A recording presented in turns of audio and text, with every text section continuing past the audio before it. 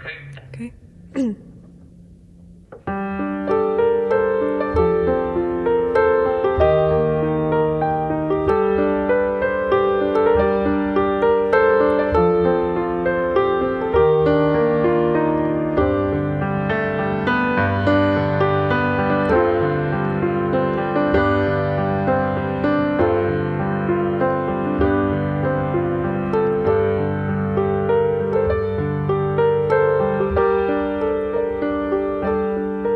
He was a stargazer, she asked. Oh, hang on.